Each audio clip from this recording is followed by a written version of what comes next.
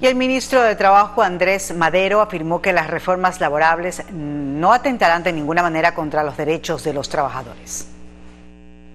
Sin duda, las reformas laborales generan gran preocupación en el pueblo ecuatoriano. Hay quienes aseguran desde ya que ciertos beneficios de los trabajadores desaparecerán a lo que Andrés Madero responde. No, en ningún momento se ha dicho que se va a deshacer ningún derecho de los trabajadores, menos aún la jubilación patronal. Lo que hemos sido claro como gobierno nacional es que estamos trabajando en conjunto con todos los gremios y sectores productivos del país, así como con los sectores de trabajadores, para que este beneficio de la jubilación patronal, que hoy llega a menos del 5% de la población, sea para todos y desde el primer día de relación laboral. Resaltó que las reformas laborales persiguen objetivos claros. Que gocen de la afiliación obligatoria al Seguro Social, del pago de los décimos terceros, tercero, decimocuarta remuneración, de su derecho a las vacaciones, de su participación en utilidades, es decir, de todas las normas establecidas en el Código del Trabajo y demás leyes conexas, pero que tengan la oportunidad de participar con plenitud de derechos de esto. Y en cuanto a la contratación por horas. Bueno, la contratación por horas está limitada por la Constitución y ese tema no se va a tocar, es una reforma legal, no una reforma constitucional. El ministro de Trabajo pidió que no se distorsione la información.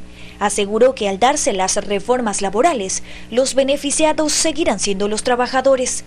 Estefany Camacho, Noticiero 1.